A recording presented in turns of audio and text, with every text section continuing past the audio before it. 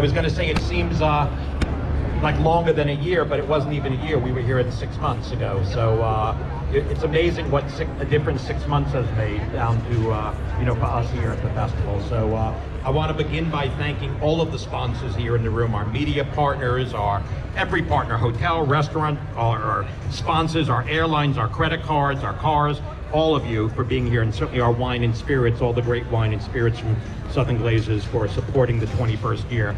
Uh, we've raised over $32 million to date going into our 21st year. Um, we are happy to say, so enjoy all the wine, enjoy all these great spirits, enjoy the, all the great weather that South Florida has to offer this weekend, and uh, stay safe and enjoy a great weekend here. Thank you again.